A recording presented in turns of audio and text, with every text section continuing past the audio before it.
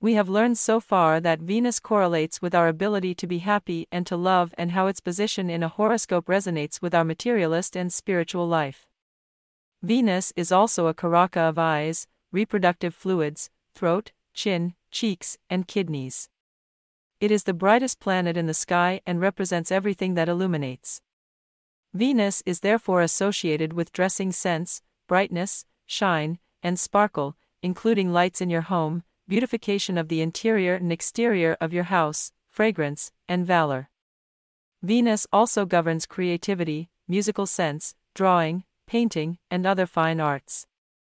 It is the lord of Taurus and Libra and rules Bharani, Purva and Purvashada nakshatras.